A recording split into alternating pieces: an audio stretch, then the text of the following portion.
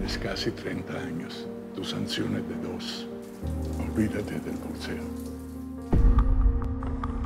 ¿Ya le explicaron todo sobre su nuevo trabajo?